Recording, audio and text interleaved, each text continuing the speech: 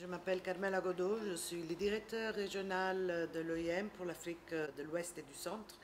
Nous sommes ici au Sénégal cette semaine pour notre rencontre de coordination régionale à laquelle participent tous les chefs de mission et les responsables du bureau de notre région.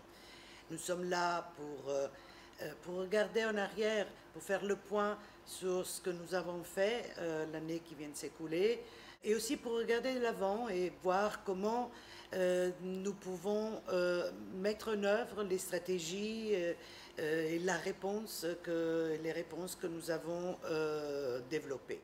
Le chef de la division des communications et des médias de Genève m'a proposé d'envoyer ici son équipe pour former mes chefs de mission et les chefs de bureau euh, dans les techniques de la communication. J'étais très bien contente. Je sais que c'est la première fois que euh, nous avons cette formation à l'occasion d'une réunion régionale euh, comme celle-ci, parce que pour la nature même de notre, nos activités ici dans la région, nous sommes très souvent au centre euh, de l'attention des médias francophones euh, de par la nature même de notre région.